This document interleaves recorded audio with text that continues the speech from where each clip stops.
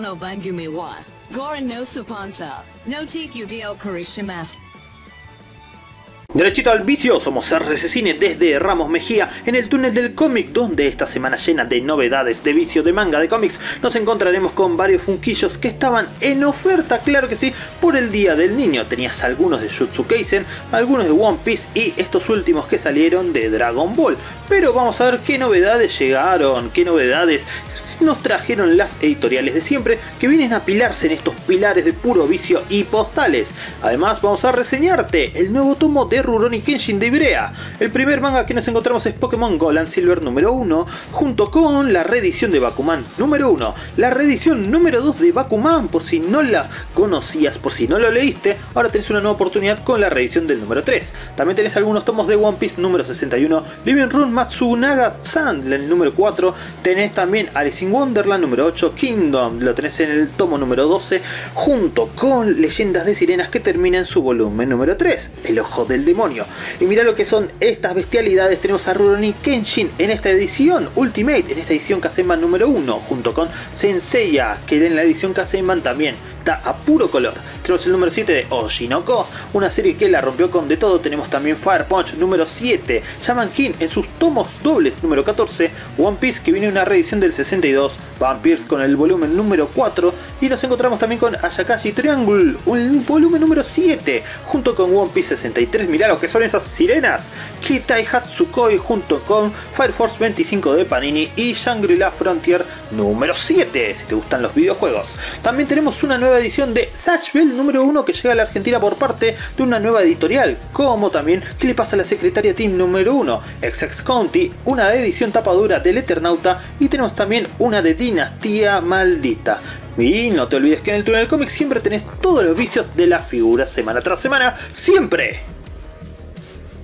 Derechito al vicio somos RS Cine y en esta ocasión venimos a traerte la reseña del tomo de Rurouni Kenshin en su versión, en su formato Ultimate, la Kasenban reeditada en Argentina por la editorial Ibrea, la misma que te lo trajo hace muchos años entre sus primeras series, las primeras series que veíamos de Ibrea, allá en la vieja Camelot, allá en, los primer, en las primeras comiquerías y kioscos de diarios del país, nos encontrábamos un Kenshin en diferentes, en un formato más chiquitito, en un tancobon más copado, pero en esta nueva reedición Ultimate vamos a ver que la calidad sobrepasa cualquier expectativa y más. Todo esto y más, con todos los extras que puedes conseguir en el túnel del cómic de Ramos Mejía. Un saludo a nuestros amigos del túnel cómic, donde puedes conseguir póster como este, donde tenemos acá el slime, al rey de los slimes de los isekais, algunas postales temáticas como el de esta semana donde te puedes encontrar un Kenshin junto con su waifu Lina, claro que sí, para escribirle a tu mamá samurai, a tu papá samurai o a tus tíos samuráis desde estén donde estén.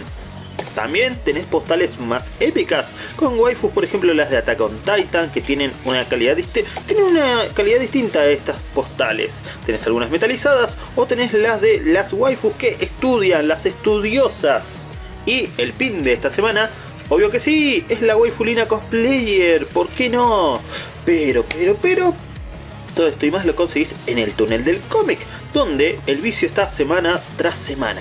Pero bueno, vamos a ver que en esta versión Ultimate entonces nos encontraremos con el traductor original de la primera versión de Ronnie Kenshin, pero también con muchos extras aparte. Muchos extras, por ejemplo, en la portada tenemos a Kenshin con un rediseño bien al estilo grafitado, con un lacado sectorizado sobre el título en kanji, claro que sí, hermosísimo. Del otro lado, la simpleza minimalista nos muestra solamente el título, acá lo tenemos dado vuelta, Ronnie Kenshin, la historia de un espadachín Meiji. Sería el romance Meiji, pero la historia suena bastante bien. En esta reversión de 22 tomitos Kansenban, claro que sí.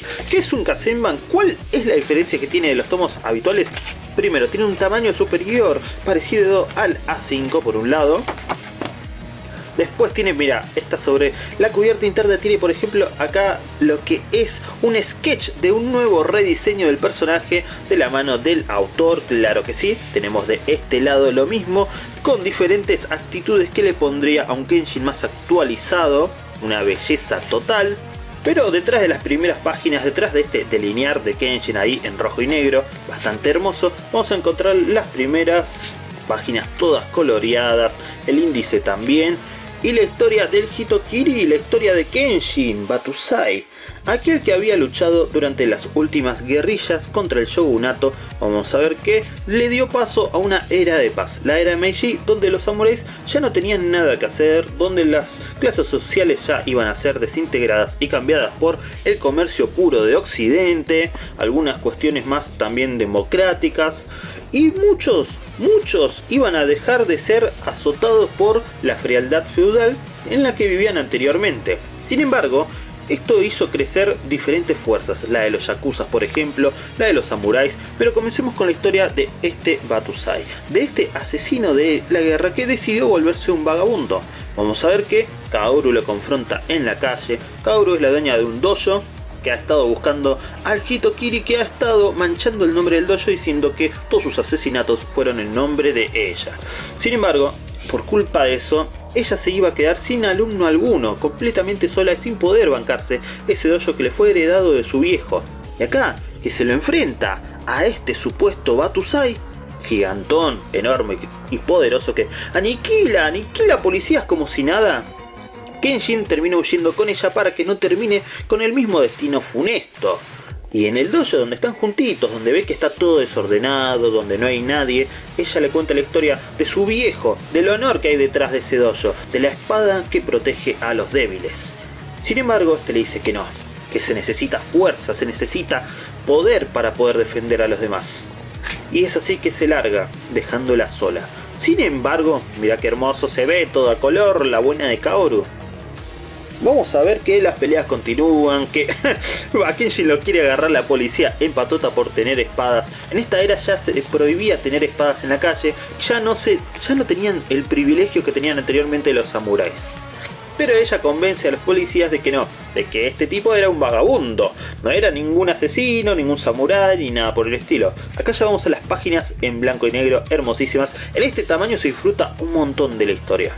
Vamos a ver que Kenshin va a buscar a este asesino que ha estado manchando el nombre del dojo de la pobre Kaoru. Sin embargo, a ella le tienden una trampa, a ella la fueron a emboscar dentro del propio dojo y vemos que aquel que le ha estado ayudando desde la muerte de su viejo formaba parte de este clan de sabandijas que querían quedarse con el dojo y vendérselas para volverlo un edificio de Palermo Hollywood. Sí, Decime si no pasa eso en tu barrio ahora mismo. Decime si no está pasando eso. Pero bueno, le atacan, le rompen la espada, quieren quebrantarla completamente hasta que aparece Kenshin. Kenshin que allá estuvo lastimando a varios en su guarida, ahora viene a bajarles los humos a ellos. Con su técnica especial heredada de, bueno, de estos tiempos de guerra, vamos a ver que él es el verdadero Batusai, él es el verdadero guerrero de estas guerrillas. Sin embargo, todos estos espadazos los ha estado haciendo con una espada que no tiene el filo en la parte frontal, por lo tanto ninguno de sus víctimas han muerto, todas han caído literalmente por su fuerza, por su propia fuerza y la técnica del Hiten Mitsurugi Ryo. Sin embargo, él representa esa antigua era, él representa todas esas batallas que tuvo que librar y por eso ahora busca la redención, la redención luchando contra aquellos que se, se baten contra los débiles. Es así como al final estos dos hermanos mafiosos terminan cayendo, Kaoru termina siendo salvada y le ofrece como recompensa que se quede en su casa, que no sea tan vagabundo y que le ayude a dominar el, el dojo, a controlar el dojo con los demás. Pero continúan las aventuras en El Vagabundo llega a la ciudad, claro que sí, porque esta historia además de ser un romance, además de ser bastante eh, temeraria con el tema de, de la era, de los diferentes cambios culturales que ocurren en esta época, además de ser una novela histórica por así decirlo, también es comedia, también es comedia y también tiene mucha acción. Vamos a ver entonces que hay una patota de policías conocidos como la policía con espadas que se hacían los campos por ser los únicos que tenían espadas en esa época. Y se aprovechaban de los jóvenes. Kenshin los confronta, Kenshin los arrebata por hacerse pasar por policías y ser realmente unos hijos de pu. Pero, pero, pero vamos a ver que hay un Ishin Shinjis, uno de estos héroes de la guerra, reconocido por su, bueno, por su valor durante las últimas batallas, que los pusieron en cargos jerárquicos, en cargos diferentes de la política. Entre ellos hay uno que conoce a Kenshin, que lo ha estado buscando desde hace tiempo para ofrecerle el mejor de los cargos por todo lo que le dio al país en sus diferentes combates. Sin embargo, Kenshin, al primero al pelear contra estos policías y al encontrarse con este Ishin Shinji, le va a decir que no, que lo que él busca es la paz y no lo va a encontrar a través de la política o del beneficio propio. En el siguiente capitulazo, claro que sí, varias personas vieron esta pelea entre Kenshin y los policías y se fueron al dojo a anotarse. Pero Kenshin les dijo, no, pibes, ustedes tienen que irse porque solamente buscan la acción. Y acá, bueno, la pobre Kaoru le dice, pero pará, necesitábamos tener clientes y diferentes, diferentes discípulos. Y Kenji dice, pero no, si estos tipos te, se, enojan un día, se van y listo. No van a tener tanta paciencia como para ser verdaderos discípulos. Y acá un pibardo el pequeño Yahiko, que le dice bagallo de una a la pobre Kaoru, le dice, intenta robar. Kenshin le dice, no, toma pibe, no te preocupes, toma la plata, salí corriendo. Y le dice, no soy un pibe, eh. Y no, no te robé porque quisiera. Lo hice para demostrar que no te tengo miedo por tener espada. Y el Shimura lo toma re tranquilo, lo toma re con soda y le dice, bueno, discúlpame, eh, no quise herir tu orgullo, la verdad es que sos un pibe grande en un cuerpito chiquitito. Pero lo que pasaba con Yahiko realmente era que él estaba siendo acechado por los Yakuza que le pedían que robe plata y les dé dinero todo el tiempo. Pero como no les quiere dar más dinero, como quiere defender su orgullo, va a ser lamentablemente castigado por estos Yakuzas. Sin embargo, acá vemos cómo, se, cómo se confronta contra ellos, cómo se enfrenta diciéndoles que no, el orgullo que él tiene de su padre, de su madre, que murieron en las últimas batallas como samuráis nobles, trabajando hasta los últimos días de su vida, él lo va a heredar y nadie se lo puede insultar ni siquiera unos yakuzas de cuarta. Entonces Kenshin, que lo ha estado buscando, va a ir a ayudarle. Otra vez le dice con modestia que disculpame, no te quise faltar el respeto, pero te tengo que llevar a Cocochito porque estás lastimado. Y el líder de estos yacuzas, al ver directamente que este sujeto no era un vagabundo cualquiera, que tenía la mirada de un verdadero asesino, lo deja ir diciéndoles, ya, eh, pibes, la verdad es que la vida de este pibe no vale la pena como la vida de todos nosotros. Sí, llévatelo, llévatelo a tu casa, no hay problema. Es así como Kenshin agarra a Yahiko para que se vuelva el primer discípulo del Dojo Kashin, claro que sí, aunque le sigue siendo bagallo a su maestra. En el siguiente capítulo ya tomamos, ¡Uah! ya tomamos las páginas a color de nuevo. Esto me encanta porque van a haber muchos salteos de páginas a color. Este es hermosísimo, por ejemplo, lo vemos a todos los personajes con cierta calidez humana. Vamos a ver que se van de jodita, claro que sí. Que bueno, mentira, no se van de joderse en el siguiente capítulo. En este capítulo vamos a ver que la relación entre Kaoru y entre su nuevo discípulo eh, se fortalece al ver que sus antiguos discípulos son perseguidos por una pandilla de vagos. Una pandilla de vagos que tenían un cañón de madera y que les iban a destruir todo el dojo con estos movimientos dinámicos, con este trazado tan... Mira, el trazado que tiene esta obra es hermoso porque tiene cierto dinamismo entre los cuadros, entre las técnicas, tiene un estilo de impacto puro que te va a fascinar. Pero bueno, entonces acá la relación entre Kaoru y su nuevo discípulo se fortalece y en el siguiente capítulo va a aparecer Sansa, Sanosuke Sagara, que representa a un viejo escuadrón de diferentes samuráis que pelearon para poder liberar a los campesinos y que les iban a liberar también de los impuestos, pero que el shogunato, el nuevo emperador, mejor dicho, decidió aniquilarlos diciéndoles que todo lo que dijeron eran falsas promesas. Como ustedes, como cuando votan a un político que te promete cosas hermosas y realmente no lo hace o no lo va a hacer. Sí, claro que sí, eso le pasó al grupo de Sanosuke Sagara, quien lleva el símbolo de la maldad en su espalda y que ahora no es más que un pibardo de 19 años que se dedica a mercenear y a pelear contra los más fuertes. Es así como estos dos sabandijas lo contrataron para vengarse de Himura. En el siguiente capítulo, confrontación, Sanosuke Sagara, en esta imagen bien poética, bien telenovelesca, bien dramática, vamos a ver que primero este cuadro donde se burla de Sanosuke porque estuvo dos meses sin aparecerse Kenshin ya se lavó un montón de veces las patas en todo este tiempo. Vamos a ver que Sanosuke fue a investigar en Kyoto toda la vida de Kenshin para saber quién era, para saber cómo enfrentarse a él, para saber qué tipo de lucha iban a tener y decidió una lucha directa.